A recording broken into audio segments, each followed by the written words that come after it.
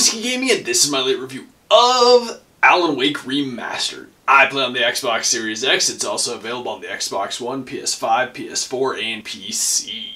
Okay, so let's get into the story. You play as Alan Wake, a writer. You and your wife go to Cauldron Lake in order to basically go on a vacation. But your writer's block has been super bad. She got you a typewriter, you get butt hurt, and run off. But then the power goes out, she gets kidnapped by a dark and like mysterious entity, and you have to try and find her. That is basically Alan Wake's goal is to try and defeat this dark entity and to find and save his wife. Now, there are two DLCs included in the remastered edition, and each of them story wise I really enjoyed. They kind of explore what happens afterwards, which is a little bit of bullshit because once again, once upon a time, it was locked behind DLC. Like the true ending of the game was locked behind DLC. In the remastered version, it's really not a cardinal sin because, well, they're automatically included. That being said, I enjoy the story, and it really does kind of paint how Remedy got from like the Max Payne games to something like Control from a storytelling perspective. And it definitely has their storytelling quirks, such as narration, because that's kind of what they do. They have this noir vibe in all of their games.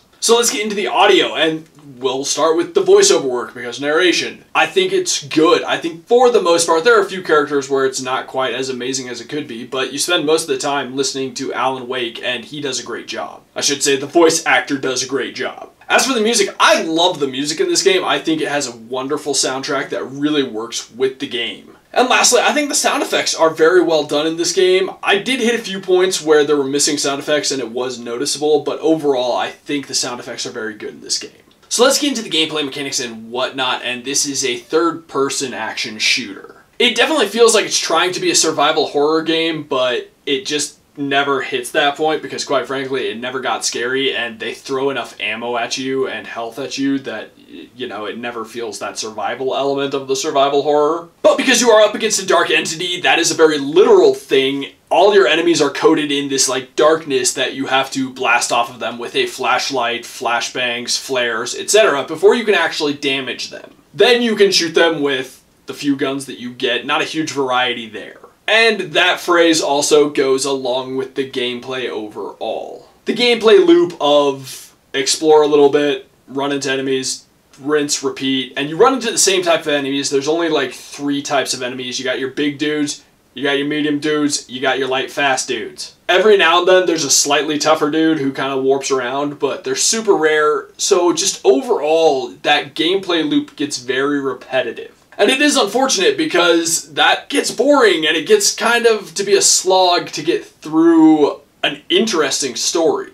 Also, there are a few other gameplay elements that I don't necessarily love. Like in the first DLC, the way they spawn enemies on you, you're almost always surrounded, and I mean properly surrounded, so you're kind of up shit creek and you've got to replay it a few times to like know where they're coming from so you can deal with who you need to deal with first. And it just got a little frustrating because it's not that style of game, plus the checkpointing in the first DLC is garbage. But it also does the trope of, oh, you start every section, every level with all your gear gone, you gotta get the new better flashlight again, you gotta get your guns back, and that gets a little played out as well. It is unfortunate because while the gameplay is not necessarily bad, it does get repetitive.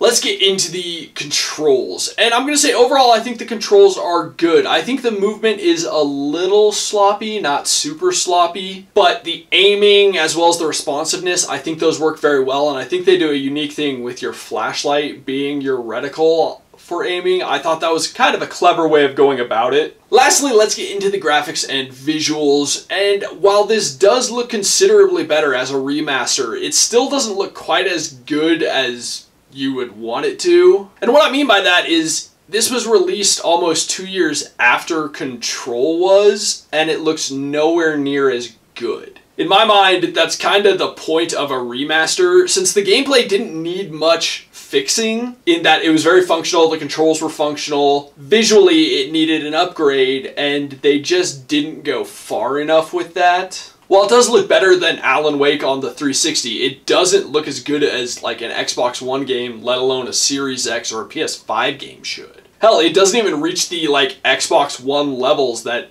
it really should. And some of the characters just look a little funky. Specifically, his wife looks just not quite right anytime she's on screen. Whereas Alan Wake does look pretty good. I think they did a good job adding a lot more detail to everything. I think the world that they have built, getting to see it in better graphics is really neat. Although, obviously, they do a good job, though, I will say. I was going to complain about, you know, everything being uh, dark, but they do a good job with it not being so dark that you can't see anything. There are other games, specifically that I played recently, where things were a little too dark for their own good. And for a game that's all about being lost in the darkness and trying to find something in the darkness, they did a good job of, you know, representing that darkness without it being too dark to see. As for the enemies, they get, you know, they get a little played out. There's not enough variety there. I think that's something that they could have done with the remaster is add a few more. Just plain and simple to wrap up the graphics and visuals. I think they could have gone further with it.